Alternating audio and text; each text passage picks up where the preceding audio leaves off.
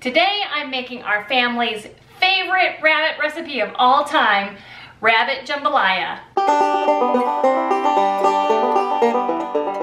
Hi everybody, welcome to Living Traditions Homestead. My name is Sarah and today I'm going to share with you one of our family's special recipes.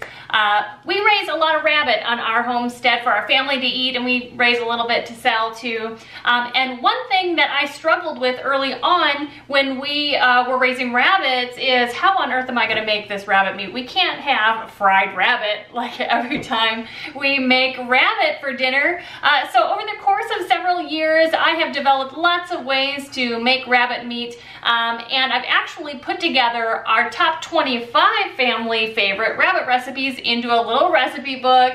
Um, and uh, I have been sharing how to uh, cook these rabbit recipes with you guys uh, through our YouTube channel. And today is very special. Like I said, our all-time favorite rabbit recipe is rabbit jambalaya. And I actually take this to potlucks and people love it all over the place. If you are interested in knowing more about our rabbit recipes and for all of the measurements and everything for these uh, rabbit recipe videos, uh, you can purchase our cookbook for $5, uh, either a hard copy just like this through our Etsy store or uh, through our Amazon shop, you can get um, a digital version for also $5. So enough talking, let's start getting cooking and uh, first we need to gather all of our ingredients.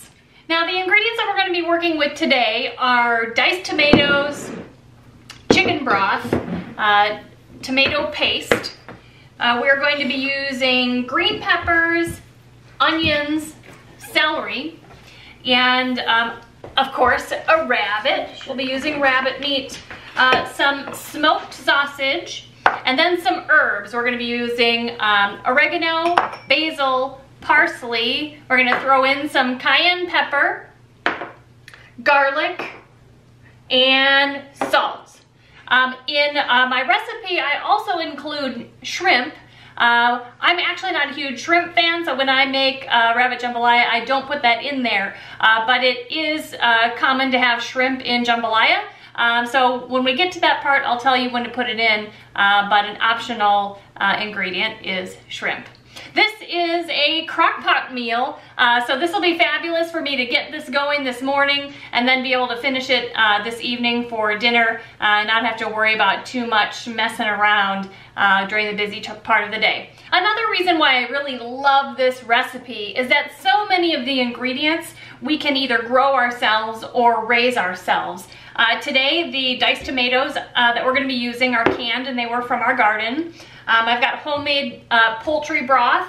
Um, the herbs and the spices, minus the salt and minus the garlic, honestly. Um, all the herbs and stuff are from our garden dried. Uh, fresh would be awesome, but it's not that time of year here yet. And um, of course the rabbit meat is uh, from our uh, homestead as well. Um, in the summer when you have peppers, when you have fresh tomatoes, fresh herbs, all of those things, it even makes this recipe even better. So I, uh, I suggest that you give that a try also. So let's get started on making rabbit jambalaya. Well, I went ahead and I put in the uh, tomato paste. It's not easy to do that one-handed. Um, and now next I'm gonna add the uh, tomato, the diced tomatoes. This it's a really nice uh, kind of chop and dump meal, basically. And here's the poultry broth. Uh, while we're at it, let's get the other easy things out of the way. Let's do all these spices. Uh, there's uh, cayenne pepper, basil, oregano, and parsley all in there, dried. Minced garlic. Dump that in there. And the salt. Okay. So I got those things out of the way. Let's just stir up that goodness.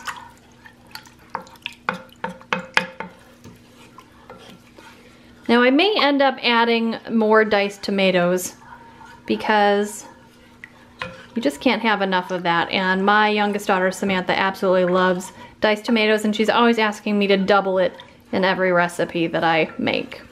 Okay, now on to chopping.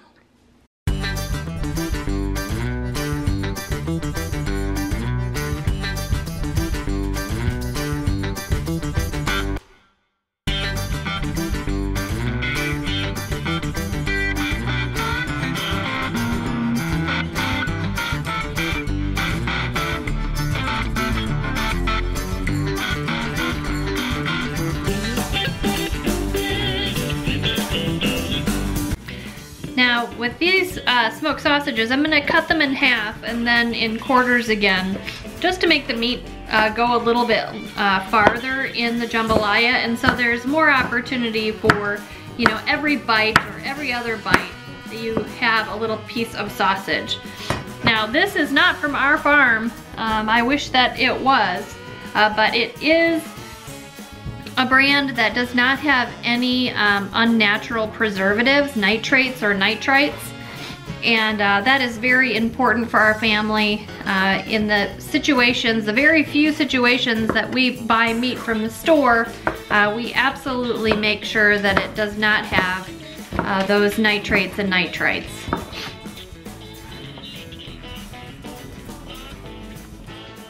Okay, let's see how this is gonna look when it's all stirred up. Everything in the pot, minus the rabbit. Choosing to break the rabbit down and only put in the meat, the meaty pieces in there to cook because I want to minimize the opportunity for small bones to end up in my jambalaya. Uh, rabbits have very, very small backbones, vertebrae, and very tiny, almost um, almost flexible rib bones and those can easily be missed when you're taking the meat off the bone and then it ends up in your jambalaya and you don't want somebody to like break a tooth or choke on it. Um, so my recommendation is to do it this way. Now, uh, you can see this beautiful rabbit we have in here. Uh, we have a video that shows about these uh, shrink wrap bags. Uh, they're actually uh, chicken shrink wrap bags, uh, but we use them for rabbits also, and it works really well. Um, I, if you're interested in knowing more about that, um, I will go ahead and put a link to that video up here. We're just gonna take this out of here, and I'm just going to um, I'm just gonna break this rabbit down real fast. Um, I'm not going to explain much of what I'm doing uh, because I we also have um, we also have a very detailed video where I actually break down a rabbit uh, into the meat pieces on camera, close up for you to watch. Um, and I will uh, go ahead and link to that video for you um, up in the corner there as well. Now, if you are considering raising rabbits for your family, uh, we have been raising rabbits on our uh, homestead here and on our in our urban homestead in uh, Phoenix, Arizona. Um, I have actually done a really extensive uh, video series on how to raise rabbits for meat. And uh, I will go ahead and link to that uh, rabbit series right up there. So this is what we have. We have a saddle here, which is the midsection, uh, two front legs and two back legs here. And so we're just going to, uh, we're just gonna set these in here uh, just lightly on top. We're not gonna mix them in because after they're cooked, we're going to pull them out. We're gonna pull them out and then pull all of the uh, meat off the bones and mix it back in.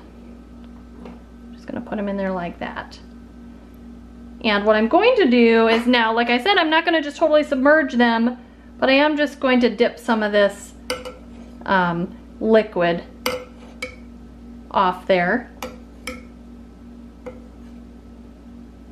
Put that on top of the meat, just so it's not there all by itself, getting all dry and lonely. Okay, so we're ready to put the um, top on and put it into the slow cooker. Okay, it's all ready for the slow cooker. I'm going to set it on low and we're gonna let it cook for six to eight hours until the rabbit meat is done. Now rabbit meat is done at uh, between 160 and 165 degrees. Um, and uh, so we'll be back then. Well, the meat is done, so let's open it up and take a look. Ooh, it's looking good. We're gonna take these out and put them on a plate so they can cool. And then we will um, take the meat off and put the meat back in to the jambalaya mixture. Okay, this is cool enough. So I'm just gonna start picking uh, this meat right off the bone and I'm gonna put it in the crock pot right away in small bite-sized pieces. Uh, you could do this with a fork, but um, I really find that it's just fine for me picking it off with my fingers. Okay, let's stir this up and see what it looks like. Looks good. The next step is to return this over to the crock pot and uh, just keep it warming, keep it on low until it's time to serve your dinner. In the meantime, I'm gonna start my rice um, in the rice cooker. Now, um, a lot of people when they eat jambalaya, they actually mix the rice in with the jambalaya and serve it that way. Our family likes to just spoon the rice on the bottom and then put the jambalaya on top and then eat it however they want to. We're gonna put some cheese on it today because from we're, we're from Wisconsin and everybody puts cheese on everything when you're from Wisconsin. So the crock pot is going back in the base um, while we get the rest of dinner ready. Tell you, if you're going to put shrimp in your jambalaya, now is the time to do it. Put your shrimp in there, cover it, put it on low, and let it cook for at least another 30 minutes. Well, everything is all set. Let's serve up a bowl. Okay, we've got our jambalaya here, some white rice, and some cheese to go on top. Uh, I like to serve Kevin's bowl first, so that's what that's what we're gonna do today. Again, nice helping of rice. Woo! steamy.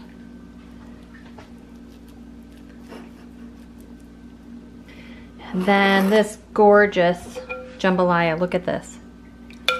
That The taste of that sausage has really come through. All of those herbs and spices that we've put in are just amazing. It really thickened up nice too.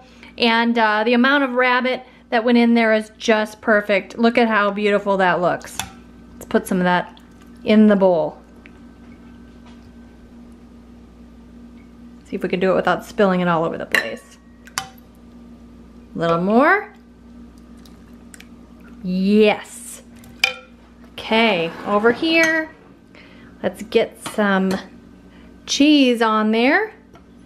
We're using Colby Jack today. Looks delicious. So it looks like it's dinner time. I am super excited. Thanks so much for coming by as I make our family's favorite rabbit jambalaya. If you are not a subscriber yet, right now is a perfect time to hit the subscribe button below. Uh, we also love comments and questions, and if you enjoyed this video, go ahead and share it with family and friends. Until next time, you guys, thanks so much for stopping by the homestead. Take care, and God bless.